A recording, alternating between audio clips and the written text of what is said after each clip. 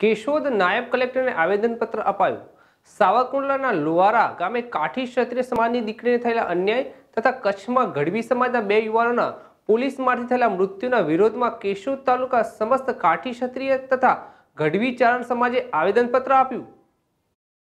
કાઠી ક્ષત્રિય સમાજ તથા ગઢવી ચારણ સમાજને થયેલ અન્યાય બાબતે અનેક જિલ્લામાં આવેદનપત્ર આપવામાં આવ્યા છે, જે બાબતે જવાબદારો સમય યોગ્ય કાર્યવાહી ન થતાં ગુજરાતભરમાં વિકરાળ સ્વરૂપ ધારણ થવાના સંકેતો સાથે ચીમકી ઉચ્ચારવા સાથે કેશોદ તાલુકા કાઠી ક્ષત્રિય સમાજ તથા ગઢવી ચારણ સમાજ દ્વારા કેશોદ નાયબ કલેક્ટરને આવેદનપત્ર આપ્યું હતું, જેમાં જણાવેલ હતું કે અમરેલી જિલ્લાના સાવરકુંડલા તાલુકાના લુવારા ગામે કાઠી ક્ષત્રિય સમાજની દીકરી હેમુભાઈએ પોલીસની ખુલ્લી દાદાગીરીનો વીડિયો ઉતાર્યો હતો.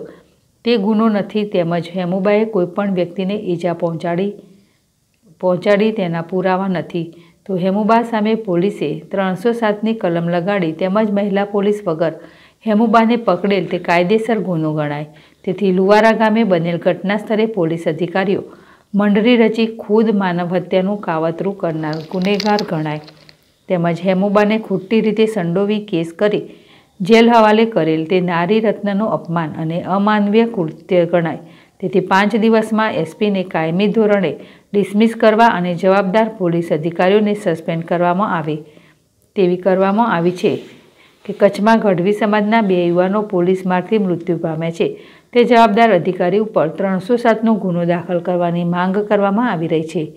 ઉપરોક્ત બંને ઘટનામાં જવાબદાર અધિકારીઓ સામે કાયદાકીય કાર્યવાહી કરવાની માંગ સાથે કેશોદ તાલુકા કાઠી ક્ષત્રિય સમાજ તથા ગઢવી ચારણ સમાજ દ્વારા કેશોદ નાયબ કલેક્ટરને આવેદનપત્ર આપ્યું હતું.